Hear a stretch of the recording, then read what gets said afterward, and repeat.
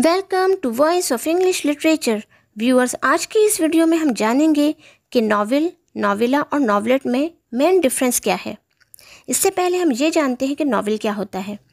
Novel literature में वो peace of art है जो सबसे ज़्यादा लेंदी होता है, सबसे ज़्यादा मतलब लफ्ज़ों पे लिखा जाता है और इसमें मेनली कोई कहानी सुना रहा होता है, कोई नैरेटर इसमें स्टोरी टेलिंग करता है। अब हम जानते हैं कि इन तीनों का मेन फ़र्क क्या है?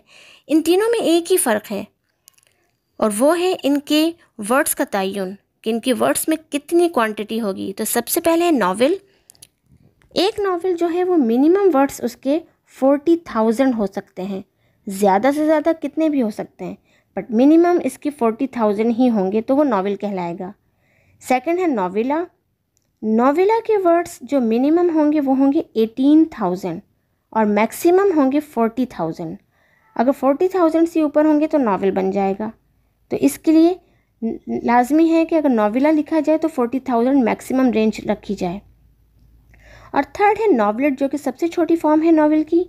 और इसमें मिनिमम जो क्वांटिटी है वर्ड्स की, वो है सेवन थाउज़ेंड फाइव हंड्रेड और इसमें मैक्सिमम है एटीन थाउज़ेंड।